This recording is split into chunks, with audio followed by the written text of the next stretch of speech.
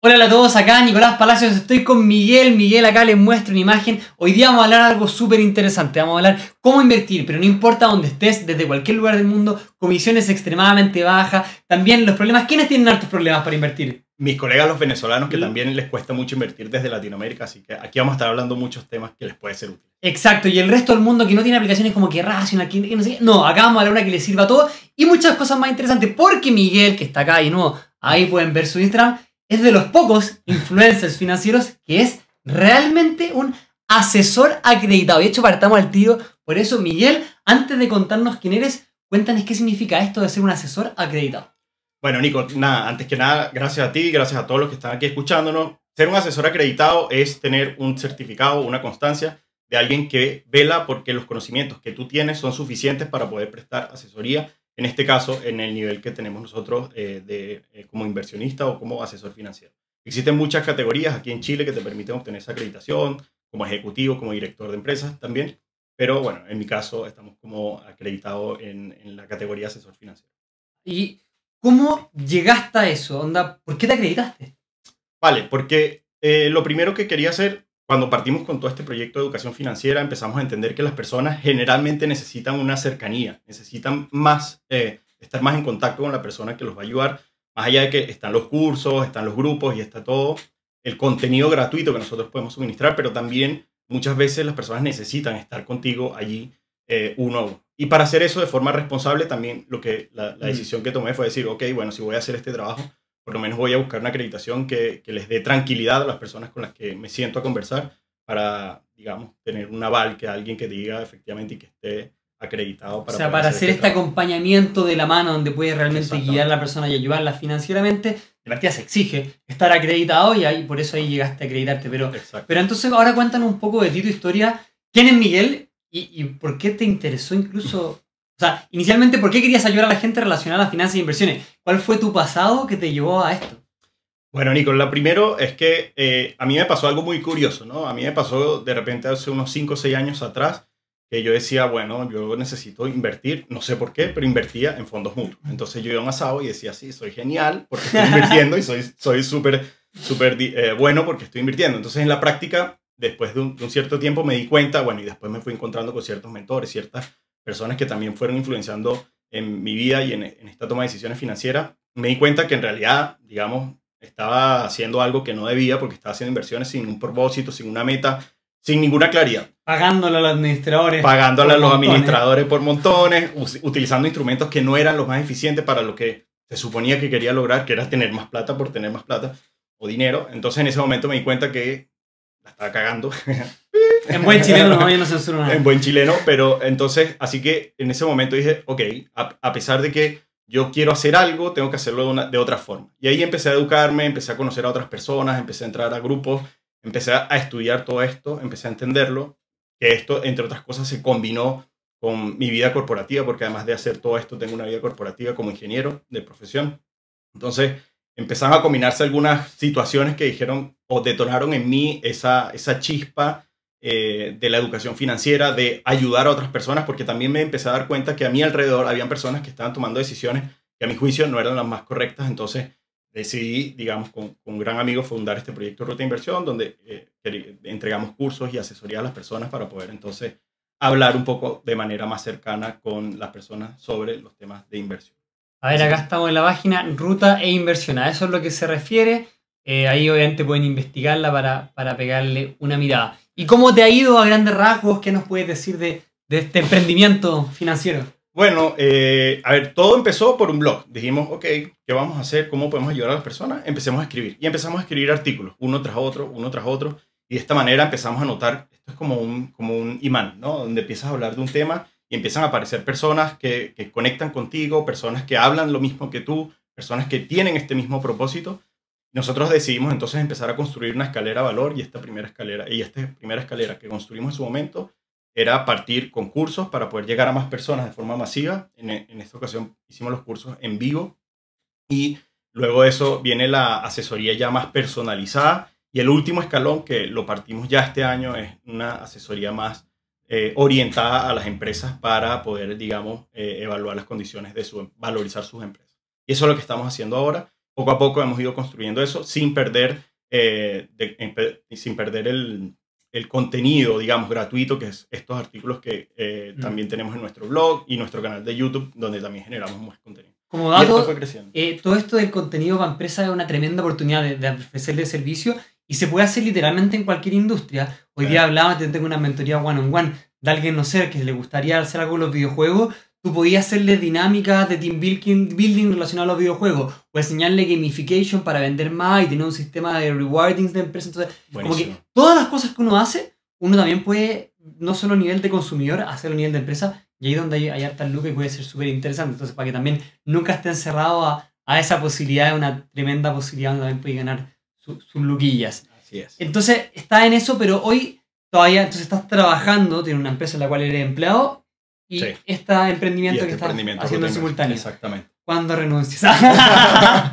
no, todavía, todavía eso está en el mediano plazo. Por ahora, yo creo que, eh, bueno, tomando un poco también inspiración de eh, los niveles de productividad del Nico, pues maximizar el uso del tiempo. Todos tenemos las mismas 24 horas y eso es lo que hacemos, pues entonces yo tengo... No todos la usamos igual. No todos la usamos igual, exactamente. Entonces yo tengo mi bloque de tiempo destinado a esta vía corporativa y mis bloques de tiempo que están destinados a mi familia y mis bloques de tiempo que están destinados a este proyecto.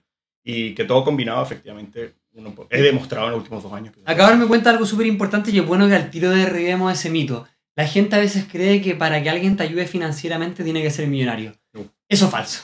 Totalmente falso. Ah, queréis profundizar? Porque en verdad a mí me llama la atención. A veces me dice, oye, ¿dónde está tu Ferrari? Sí, sí, sí. No, no, tengo por qué y, tener ni un siquiera, Ferrari. Y ni siquiera tu Ferrari. Muchas veces nos han preguntado, oye, ¿tú tienes auto? Bueno, yo tengo un auto desde hace poco, de hecho no es mío, es un leasing y eso es tema para otra conversación. eh, porque analicé desde, mi, desde, nuestro, desde nuestro hogar correspondía hacer, tomar esa decisión. Pero en la práctica, sí, existe ese mito de que, oye, no, tengo que tener la corbata, la chaqueta y estar en una oficina súper grande para poder atenderte. Y la verdad es que ya todo eso son mitos hace cinco años atrás para poder invertir, básicamente tenías que tener una mega cuenta, ir a un banco o a un gran corredor de bolsa, tener un gran capital y eso se acabó. Y por lo tanto, yo creo que también eso de la corbata, la chaqueta, eso también está, digamos, por extinguirse, pero todavía hay ciertos grupos de capital que, que, necesitan tener ese nivel de, de, confort y otros que no tanto. Y eso es lo que hacemos nosotros. Digamos. Y también está el tema de que ya tú tienes la educación para asesorar, pero, por ejemplo, no lleváis tanto un año en esto, tanto año invirtiendo, claro. no ha tenido suficientes años para la magia, el interés compuesto, para llegar a esa situación actual. Claro. Pero puede haber gente que en términos de dinero esté mucho más adelantado que tú, no en términos de conocimiento, y efectivamente tú, no teniendo el Ferrari, los puedes asesorar para trabajar por tener esa libertad financiera, por ejemplo. Que de, hecho, de hecho, nos ha sucedido, Nico, hay personas que vienen con gran capital y han tenido la confianza en nosotros para poder construir sus propios portafolios, para poder analizar sus finanzas. Y hemos demostrado que los resultados se pueden lograr, no importa la cantidad de dinero que tengas, sea poco, sea mucho evidentemente todo va a depender de lo que quieras lograr y ese patrimonio que quieres construir y todas posibilidades. Perfecto.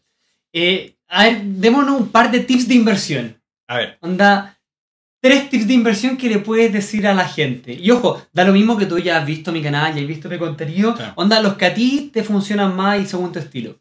A ver, mira, yo creo que el, uno de los principales tips, a ti que nos estás escuchando, tiene que ver con los costos y comisiones que tú vas a incurrir para hacer una inversión.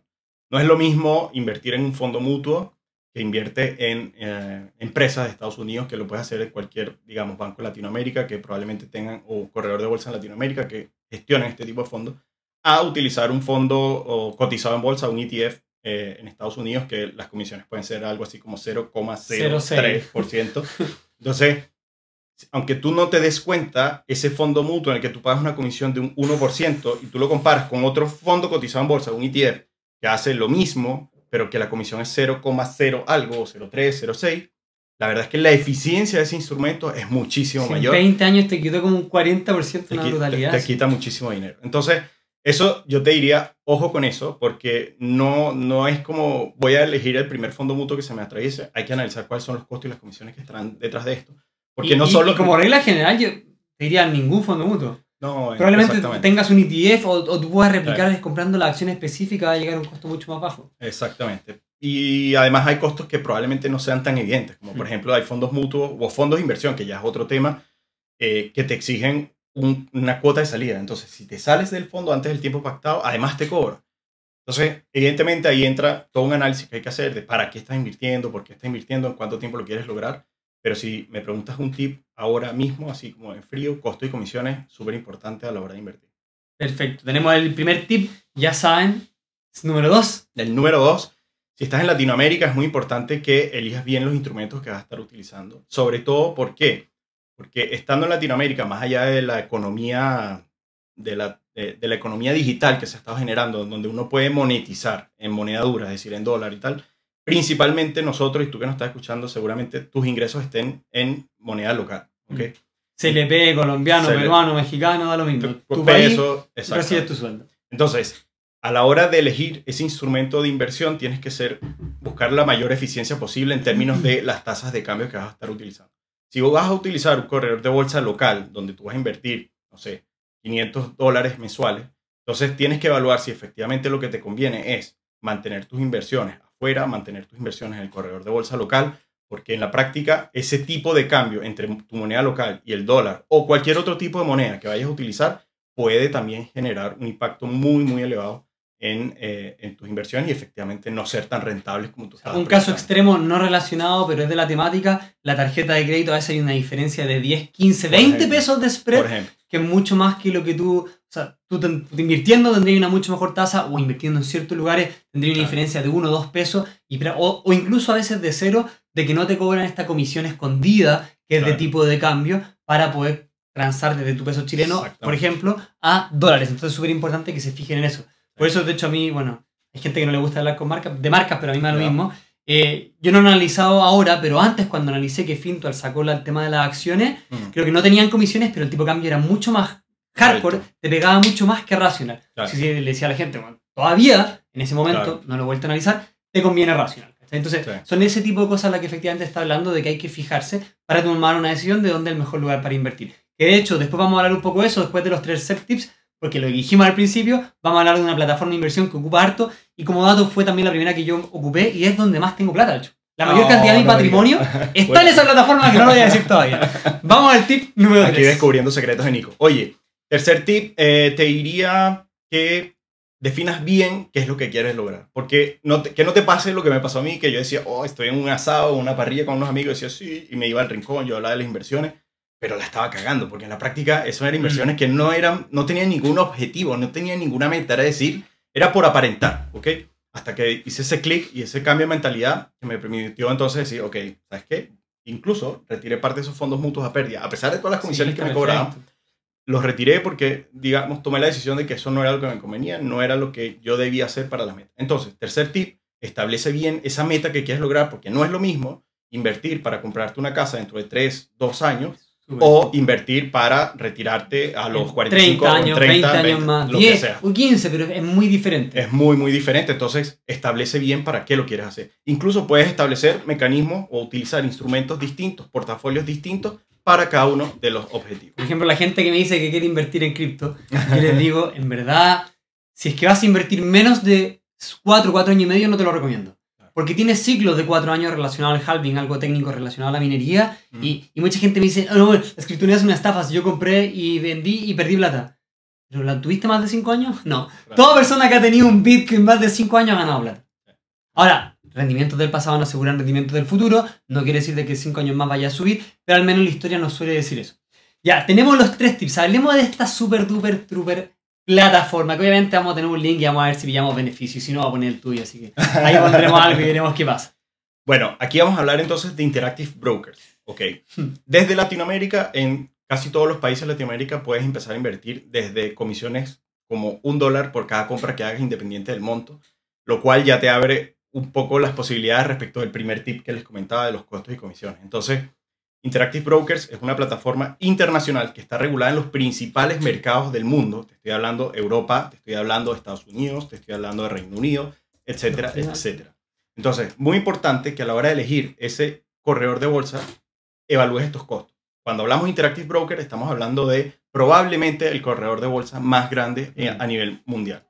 Y lo mejor de todo es que desde Latinoamérica puedes abrir una cuenta de forma digital, remota. No necesitas eh, tener presencia física en alguno de los países donde esté esta plataforma, sino que simplemente tú, desde tu computador, puedes abrir una cuenta. Evidentemente te van a solicitar tu documento de identidad, eh, constancia eh, del lugar donde vives, digamos, una, una constancia de residencia, pero esos son trámites que se pueden lograr fácilmente. Entonces, Interactive Broker se convierte en una de las plataformas más importantes a nivel mundial, porque no solo eso, Nico, te permite acceder a cualquier No, están todos los cantidad instrumentos. de Están instrumentos. instrumentos. Instrumentos, Impresionante. criptomonedas, eh, Ah, eso no bonos. sabía. Sí, tiene, evidentemente, a mí lo Pero que... no es la cripto real, es.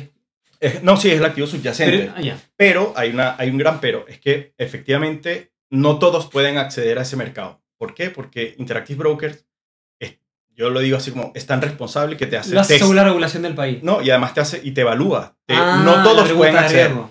Entonces te hacen, no, te hacen un test. Ni siquiera es como el perfil de- el típico perfil de inversión, sino que te hacen prueba. Es una prueba que tú tienes que optar para poder acceder a ese mercado. Incluso para eh, mercados un poco más complejos, como el mercado de futuros, opciones, etcétera. Ellos también te hacen una prueba en la que evalúan que realmente tú seas capaz de operar en esos mercados. Ya. Entonces eso es súper bueno y además te deja entrar a todas las acciones, no solo en el mercado de Estados Unidos, sino a nivel mundial, en gran parte de los países, eh, por los mínimos costos. Tienen una billetera multimoneda, puedes tener, no sé, eh, franco suizo. Te prestan crédito también. Entiendo que sí, tienes la cuenta margen con la que te dan un, un cierto porcentaje O sea, respecto hay al veces que he comprado, me he pasado sin darme cuenta y, y te pasa la plata, no, ahí le da lo mismo. Y, te- Sí, y- y que curiosamente, no, no, te cobran un interés inexistente.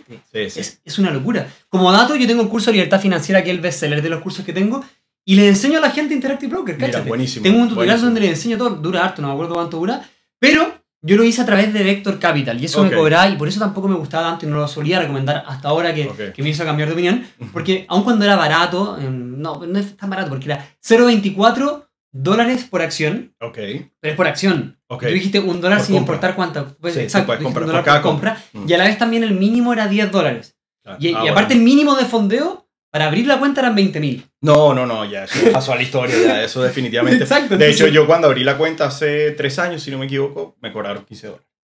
Nada, un regalo. cuenta. Nada. Entonces, y después Esta fondear. plataforma no le sirve a la gente que quiere promediar que va a comprar monto muy chico. No, efectivamente Si no. compras todos los días una acción de 5 dólares y te cobran un dólar, puta, es carísimo. No, es carísimo. Pero si es es una vela al mes, Eh, perfecto, perfecto. perfecto. Para construir un portafolio de largo plazo donde tú vas a tener un gran aporte, y yo creo que es lo mejor. Y hay otra cosa importantísima, Nico, esto yo creo que tiene un par de No meses. se me olvide después, pero dale. Wise Transfer. Eso mismo te iba a decir. Ella no te envíe envíe dinero porque no se nos puede pasar el cómo fondeamos la cuenta en- internacionalmente en Interactive. Fíjate, hay, hay distintas maneras y ahora en este mundo digital es mucho, muchísimo más fácil. Hoy yo en un día puedo fondear mi cuenta desde Chile hasta Estados Unidos en mi Y, cuenta y Interactive la Broker. tasa, La tasa te la da simplemente el primer tipo de cambio que tú usas para pasar de tu moneda local a, tu, a la moneda dólar. En este caso, yo, hablo, yo lo hago a través de Global 66, que tiene una tasa de, de cambio relativamente elevada, pero que se compensa si tú la ves con el mercado. ¿desde Global mandas a Wise o mandas a Desde Interactive? Global mandó a Wise Ah. y ahora Wise y Interactive Brokers se aliaron y tienen las billeteras fusionadas. Entonces, tú cuando mandas Buena, tu dinero a buena. Wise, Te aparece te automáticamente aparece, el balance. o sea, tienes que hacer un, un- un clic para poder pasar tu balance de Wise a tu billetera de Interactive Broker una vez que ya las tienes asociadas. Entonces, es maravilloso porque tú puedes, yo no sé, a las 7 de la mañana hacer tu transferencia de Global 66 a Wise, al mediodía tienes tu dinero en Wise y en 10 minutos después pasas de Wise a Interactive Broker y tienes el fondeo de tu cuenta. Es decir, quedó pegadísimo internet, pero les quería mostrar. Yo también tengo un video de Global 66, si es que no saben usarlo. También. También tengo un link de referido que les da beneficio a ustedes, pero es súper, está buenísimo. O sea, ahí está empezando a cargar. No sé qué le pasó a mi internet, que tengo un giga y ahí está, y ya está buenísimo y ya saben. Así que Global a Wise, Wise te aparece la billetera automáticamente el saldo en Interactive, algo Sí. nuevo, y desde ahí pueden comprar y vender acciones. Exactamente. Y esta es una de las formas, yo he explorado varias y esta es la forma más económica porque también evidentemente directamente desde tu banco local puedes pedir que te transfieran a tu cuenta eh, en Interactive Broker. Eso sí, siempre las cuentas tienen que ser a nombre de la misma A nombre de la persona. persona. Global, ¿qué tanto no me acuerdo? ¿Qué tanto te, te, te pegaba con el tipo de cambio? Mira, el tipo de cambio es bajo, pero ellos tienen una comisión de cambio. ¿Ok? Y esa comisión de cambio finalmente, ¿qué es lo que hace que en el fondo el tipo de cambio resultal chicos. es igual, relativamente alta el, tipo de cambio. Ya. Entonces, en la práctica, claro, no es que puedes estar mandando 10 mil pesos todos los meses, porque esto no, no tiene ningún O sea, sentido. no, no a todos 5.000 los chilenos 10 les convendría. O sea, hay, Claro, digo, oh, digo chilenos porque hay personas que no tienen otra opción como Rational. Pero, Perfecto. pero existiendo Rational con el plan Pro, igual les puede salir a cuenta a varios. Sí, porque sí. ahí también depende un poco el, el patrimonio, la estrategia de inversión, si es que hay que comprar todos los días, si es que hay que mandar semanal, mensual, si es que hay que invertir de a 100 dólares, de a 1000 o de a 10 mil. Como que No, sí. un poco eso para que tú analices. Ojo, la plataforma también es. Las finanzas son personales por algo. Y la plataforma también depende de la persona. Sí, no, y la plataforma tienes que ver un montón de otras cosas, pero sobre todo eso que dice Nico, entender bien para qué lo vas a hacer y cada cuánto vas a estar aportando a ese portafolio que vas a construir o a los portafolios que vas a construir, dependiendo del tipo de meta que quieras hacer. Entonces, en definitiva, eh, creemos que Interactive Broker es una, una muy buena, digamos, plataforma para poder invertir, es relativamente eh, económica. Y lo otro, Nico, cuando quieres enviar dinero desde tu cuenta Interactive Broker y traerla de vuelta, es igual de rápido, es por la misma vía. Lo haces por Wise, te llega Lo Global mismo, 66 exactamente. y el Global 66 es súper fácil pasarlo a tu banco local, pero probablemente desde- yo tengo entendido, y algo que me gusta de Interactive, Ya. porque cuando estaba que, complicado el tema chileno, que el estallido social, y como yo tengo gran parte de mi patrimonio en Interactive, eh, tú desde Interactive también lo puedes mandar a cualquier banco de cualquier lugar del mundo, no es solamente de tu país. Sí, Entonces después yo me quiero ir a cambiar a Estados Unidos y quisiera por alguna razón liquidar mis inversiones, puedo liquidarlas y mandarlas a mi banco de siempre que Estados esté Unidos. tu nombre en la cuenta. Y si no estuviese tu nombre, tienes que hacer unos pasos adicionales porque tienes que explicarle por qué tú estás haciendo eso. Ahora, los cambios de posición, es decir, yo tengo la acción de Apple, esa acción de Apple es tuya y de nadie más. Si tú quisieras pasarse o traspasársela a alguien más, pues probablemente vas a tener que Y vender esa te van a llegar millones de correos. pa- a ti te llegan millones de todas. Como para votar y todas estas cosas. Mira, voy a googlear Sí. IBQR en mi, en mi. Instagram. O sea, en mi Instagram, mi, mi mail. Y te van a llegar mails todo el rato. Que cambios de los analistas. eh, cuando las cosas para votar. La meeting anual. Mira, me equivoqué hoy día una de Roblox, si no me equivoco, sí. Roblox. Que tengo votar, Interactive claro. Broker. Tengo que ir a votar, ejercer mi derecho como accionista de Roblox. De. Tesla. En verdad solamente he votado por Tesla. no he votado por nadie más, pero Yo he votado por, por la toma de decisiones en Apple, que, que Bien, igual es como bien. mi principal, nuestra principal eh, posición. Cuando hablo de nuestra, porque es un portafolio del hogar para largo plazo, así con mi, con mi esposa. Así que, Perfecto, buenísimo. Es que Apple es tremenda empresa, sí. Sí. Es una grande que, que la va a romper siempre. ¿Dónde te pueden seguir, Miguel, si quieren profundizar con tu contenido, tus cursos, tu enseñanza? Bueno, ahí en nuestra página web, rutainversión.com, van a conseguir un poco lo que hacemos nosotros, eh, quiénes somos y también a través de nuestras redes sociales. Bueno, mi, mi Instagram personal, arroba Miguel Medrano Barrueta, un poco largo. Me han recomendado acortarlo, pero siempre pienso un poco en mi mamá y, y me cuesta un poco desligar. Te iba a recomendar cambiarlo. De hecho, mi, mi mamá casi me mata por, por esto. Ah, claro. Por último le he puesto la P. Y tienes razón. Sí. Pero, Son discusiones que he tenido con mi madre, pero... pero, pero la verdad, la verdad, que hay que favorecer crecer y igual dejará en alto su nombre y su apellido y su descendencia. Así que Ya estoy, estoy trabajando en ello. Y eh, también nuestro Instagram, arroba ruta inversión, donde van a conseguir también información de qué es lo que estamos haciendo. También tenemos nuestro canal de YouTube, que lo partimos hace 4 o 5 meses, noviembre del año pasado, octubre, a potenciarlo a través de Sí, con entrevistas. Patri Morar información. hace poco. Sí, estuve con Sergio Tricio, con- estuvimos con. Sergio Tricio, sí, estuvimos ahí conversando sobre, ah, pre- precisamente un poco sobre estos mismos temas relacionados. Así que nada, súper encantado y vienen más cosas, también tenemos entrevistas, hoy tenemos otra, vamos a tener varias durante estos próximos días, así que nada, la, la invitación es que nos sigan allí, estén ahí atentos, eh, que tomen decisiones financieras de manera racionales, no sé, no, no, no desesperadas. Ahora no me gusta decir esa frase porque existe racional. Es, es terrible, weón. Porque me dice ando de forma racional y dice, puta, que le estoy haciendo publicidad racional. Pero bueno, la he dicho La- varias veces también, así que nada magia, la magia de los nombres y, y bueno, Exactamente. saber usarlo. Bueno, ya saben, si quieren seguir aprendiendo, lo pueden seguir por todos lados. Algo más quería decir y te interrumpí. No, no, nada más, Nico. Muchas gracias por la invitación. Gracias a ustedes por eh, habernos escuchado. Ya saben, ahí estaremos en contacto. Todo lo que necesiten pueden escribirnos por interno y seguimos en conversación. Eso, acá la playlist, acá video recomendado por YouTube según su algoritmo de inteligencia artificial. Suscríbete, da like. Gracias, Miguel, y nos vemos en el siguiente video. Chau, chau.